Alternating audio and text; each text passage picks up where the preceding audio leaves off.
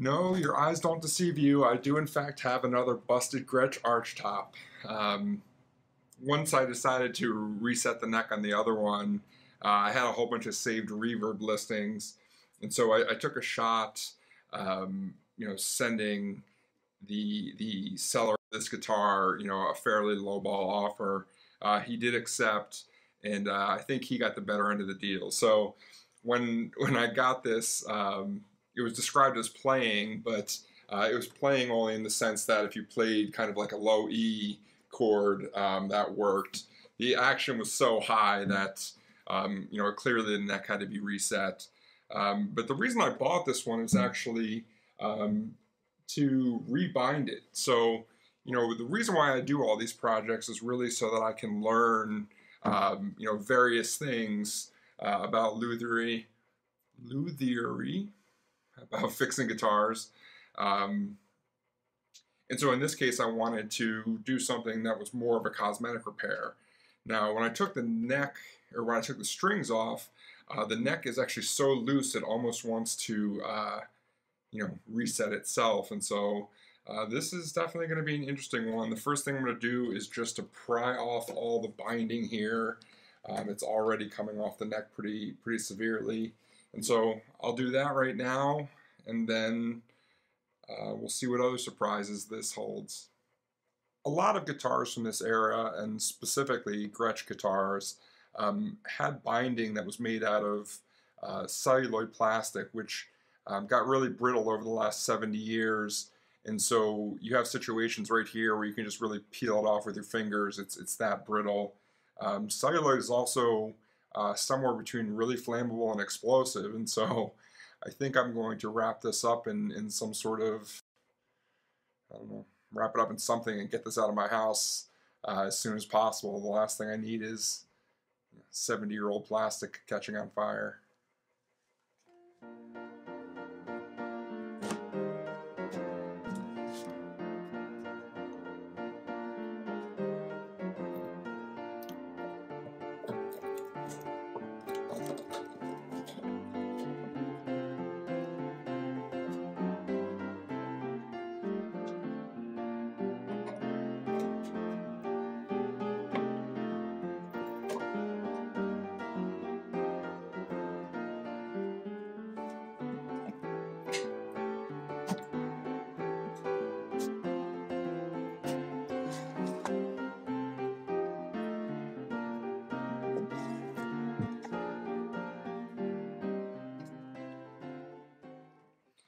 Always amazes me working on these guitars is um,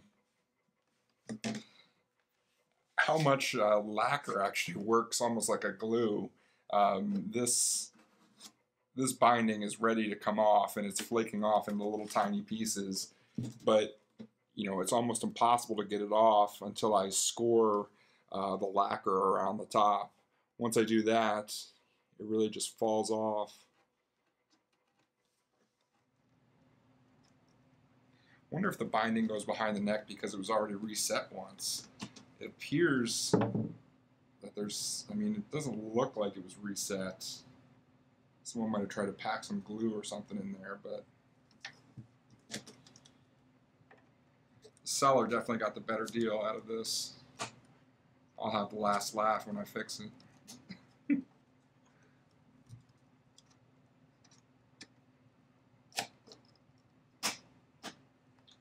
Thousand dollars worth of time into a five hundred dollar guitar.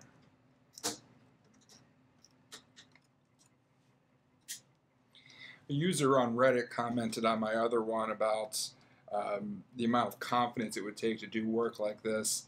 Um, you know, there's some sort of word for this. I mean, of course, we're in the middle of a pandemic, and so it's not like I can really go anywhere and do that much. But uh, you know, you can get a guitar like this for like three, four hundred dollars. Um, if you pay pay three hundred dollars, you probably got a bad deal like I did. But um, yeah, it's just about you know taking that that chance, just kind of taking your time and and just working with it. There's no substitutes.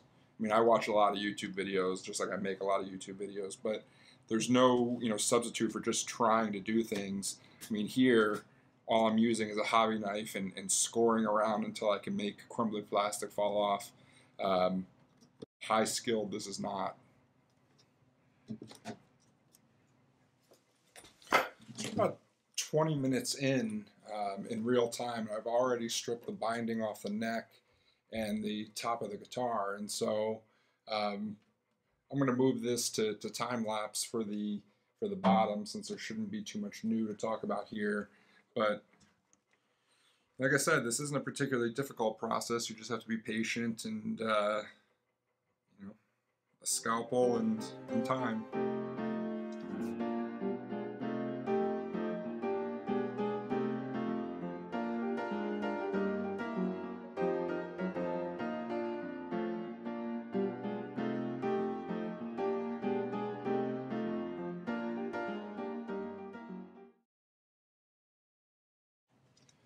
So in terms of, of wall clock time, it took me about 45 minutes to strip the binding off of the neck and then the top and the bottom. As far as I can tell, um, the body here is actually in, in pretty good structural condition. Uh, there's only one place where I see it's a little loose. of course, that's around the neck joint where the whole thing flexes anyway. After getting the binding off the body and the neck, I went ahead and removed the neck from the body, and then I um, took the frets out of the neck. And so the next step is that I'm going to take my binding and uh, glue it to the neck. What I decided was, you know, I'm going to glue the binding first and then do the frets instead of doing in the opposite order. Uh, either way will work, but if you add if you put the frets down first, it's easier to file the frets, but then you actually have to, you know, put the binding on and then cut between the frets to, to get the binding. That's how uh, Gibson style necks that have the little uh, fret nibs, that's how they do that. Uh, but it's a lot more labor intensive. And so I'm going to do it the other way. I'm going to put the binding on first, then fret over top of the binding. Um, that way, um, it should be a whole lot less effort. One of the many things that's going to be tricky about this is that vintage lacquer is often very uh, brittle. And if I were to put uh, masking tape to hold down the binding, I run the risk of actually ripping um, the finish off. And so I got to be really careful uh, with how I do this. What I think I'm going to do uh, is I'm going to take some of my CA glue uh, put it in this gap here, and then try and hold it still um, without gluing my fingers to it. And then, you know, once I can get, you know, at least a decent enough bind where the, the glue is holding it, then I can kind of go back from the other side and fill it in this way. Uh, the binding is, is bigger than the channel, uh, again, on purpose, so that I can go back and actually scrape it down flush uh, to here. And so um, I'll have another opportunity if I if I wick um, CA glue into here and then I cut it down, I'll have another opportunity to actually go over um, sanding off any of the glue later. And so uh, that's the theory. Uh, let's see if I can even put a few pieces of tape just to hold this in. Uh, otherwise, it's going to be a long, slow process of me holding the binding in place, waiting for the glue to dry.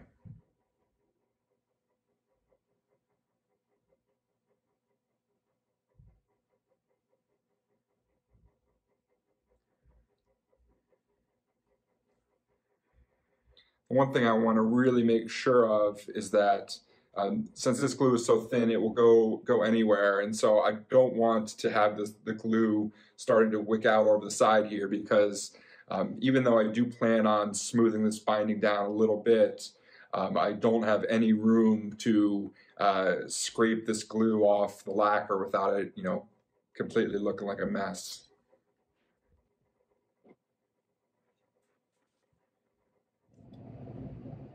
Another thing I've done with, with binding like this is actually use acetone.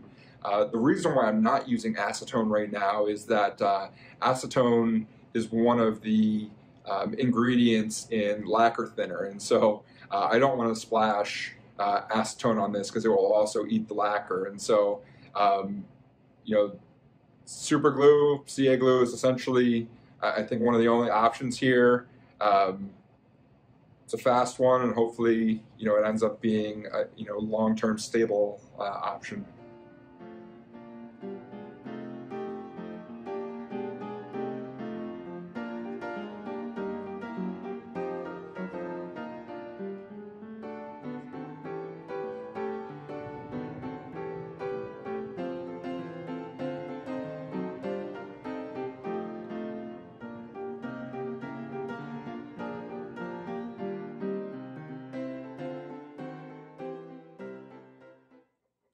So there you go. That's pretty good. That's the, the first bit of binding.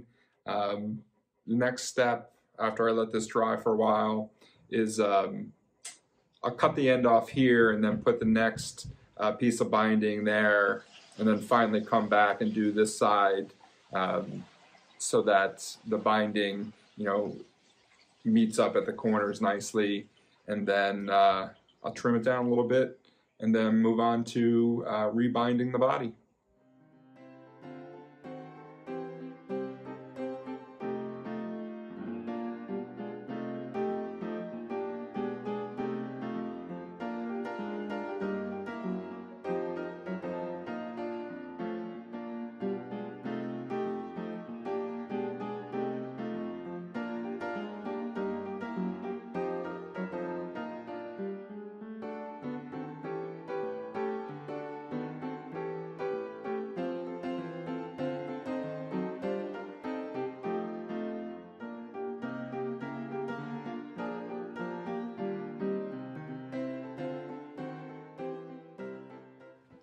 I use my nippers to just roughly trim off the excess here.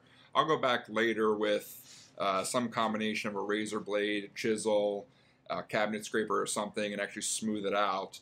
Uh, but for right now, you know, that's, that's plenty.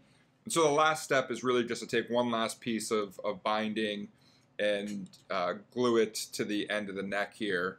Um, these guitars were originally made um, with uh, a butt joint. And so uh, essentially you just you know take the square end, put a piece on, and make it a square end. And so um, that's why I didn't go and, and try and be fancy and, and, take one continuous piece and bend it and do all that stuff. Um, really just putting it back to the, the level of craftsmanship it was when it shipped. And so this bind, piece of binding is a little bit wide. I've uh, really carefully with a chisel um, cut the the end off so that you know it's flush with this end here. And so I'll glue this down, I'll let that dry, trim it up again, and you know that will be it for the, the rough binding portion uh, of rebinding the neck. Binding the body is effectively the same process as doing the neck. Uh, what I'm going to do is start up here by the neck joint, um, just tape it down uh, very gently to, to get it started. And, you know, just like the neck as well, I got to be really careful not to uh, drip glue everywhere because if the glue starts running out the bottom here, um, there's really no way for me to scrape it off without starting to take off all the lacquer. And so um, I'll take my time uh, and kind of go around and then uh, once I do the top, then of course I have to do the back and then we can scrape it down and start seeing uh, what the final result was.